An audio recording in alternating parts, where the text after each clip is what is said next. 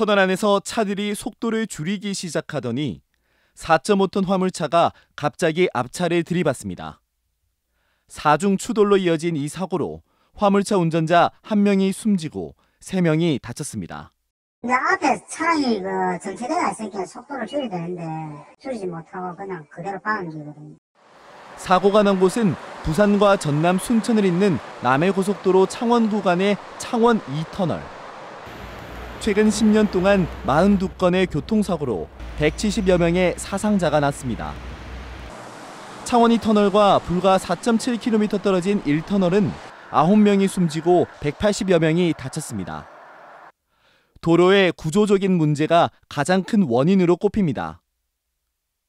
남해고속도로 순천 방향은 창원 2터널 시작되기 전 약 1km 지점부터 4차로에서 2차로로 줄면서 갑작스러운 병목 현상으로 인한 지정체가 터널 안까지 이어지는 겁니다. 그러다 보니 자칫 속도를 줄이지 못하면 다중 추돌 사고가 빚어집니다. 네, 차량을 정차되는 현상을 잘 모르시는 운전자분들께서 안전거리를 확보하지 못하거나 속도를 줄이지 못하여, 못하여 사고가 많이 발생하고 있습니다.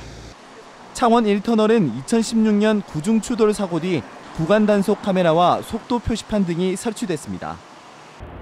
하지만 이 터널은 기초적인 시설뿐입니다. 창원 2터널 입구에는 안전거리를 확보하기 위해 차간거리 알림 시스템이 설치됐지만 지금은 화면이 꺼진 채 작동하지 않고 있습니다. 한국도로공사는 예산탄만 합니다. 금방 하는 거 타면 돈이 좀 많이 듭니다. 예산도 있고 교통사고 계속 벌어지고 있고 전국 1위, 3위예요. 어디까지? 네? 어디까지?